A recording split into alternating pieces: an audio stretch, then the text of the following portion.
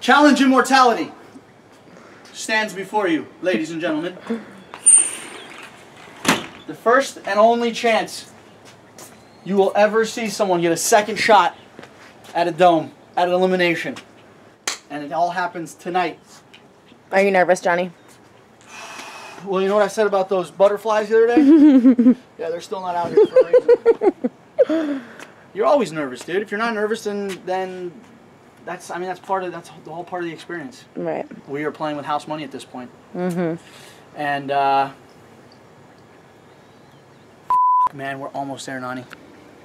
Just a second ago, I was saying how I'm really not that nervous. How I'm more like excited to get back into the dome and to see everybody and to kind of piss people off. But the more I sit here, uh, yeah, I'm starting to.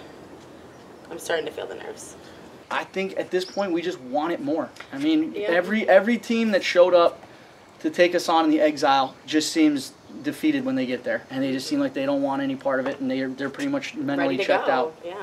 In about an hour, we're walking out of this house and we're never coming back. So either we're going back to the other challenge house tonight, or we're gonna We're be going back to- home tomorrow morning. We're either going back to the other challenge house or we're going back to Nany's great grandmother Guadalupe's hostel. Shut up. So it's one or the other.